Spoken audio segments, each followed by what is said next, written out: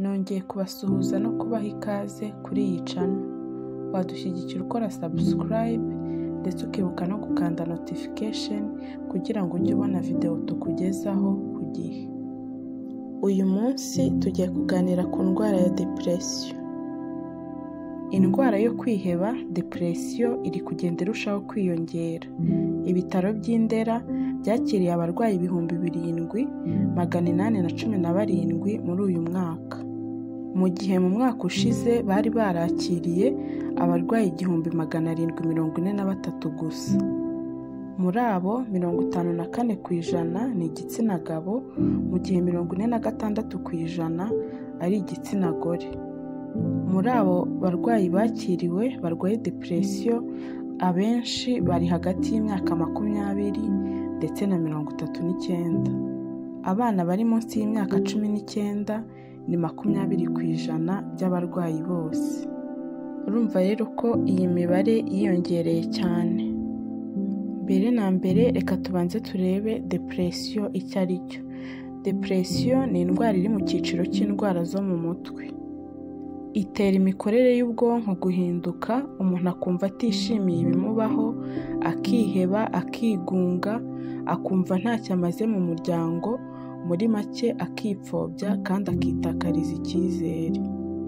Mu buzima bwa buri munsi buri wese ku rwego rwe agira ibimuhangayikisha bitandukanye. Ariko kuba wahangayika cyangwa se ukumva utanyuzwe by'akanya gato ntabwo ari byo bisobanuye ko urwaye depression. Ahubwo iba depression iyo ibi bimenyetso tumaze kuvuga bigaragara mu gihe kigeze ku mezi atandatu hagati y'amezi atandatu ndetse n'umunani nta gihinduka ni bwo bavuga ko umuntu afite uburwayi bwa depression. Indwara ya depression iterwa n'iki? Ibitera depression ntabwo ari bimwe ku bantu bose ariko hari ibikunze kugaragara ari byo tugiye kuvuga. Icya mbere ibikubaho mu buzima cyangwa se ibyakubayeho.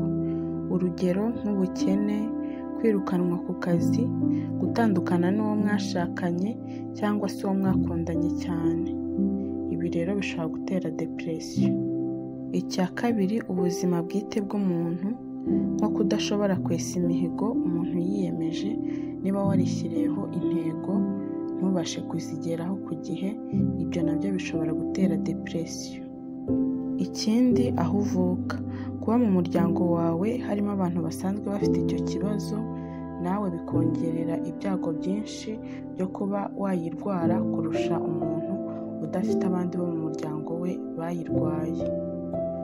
Ibindi bishobora gutera depression twavuga kuba waragize ihungabana ukiri muto kuba ukoresha ibiyobyabwenge kuba warigeze gukomereka mu mutwe ndetse hari n'imiti imwe n'imwe ushobora gukoresha ikaba yatuma ugira icyo kibazo. Ibimenyetso by'indwara ya depression twavuga nko guhora wirenganya cyangwa se wishinja amakosa ibintu byose bitagenda neza ukumva ko ari wowe waba wabiteye. Ikindi kutiyitaho. Iyo umuntu afite indwara y'agahinda gakabije kwiyitaho kwigirira isuku haba ku mubiri we n'isuku muri rusange ntabwo abyitaho ibyo yahaga agaciro birahinduka bityo akumva ntacyo bimubwiye.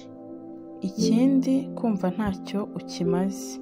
Iyo umuntu yagezweho n'iyi ndwara y'agahinda gakabije yumva ubuzima bwe ntacyo bumumariye akumva usibye kuba yagira icyo yimarira nta n'icyo yamarira abandi akumva nyine nta gaciro na gatoya afite ikindi kimenyetso ni ukurakazwa n'ubusa akajambo gato umubwiye akakurakarira kandi agahorana umunabi. Ikindi ni ukubura ibitotsi cyangwa se gusinzira cyane birengeje urugero.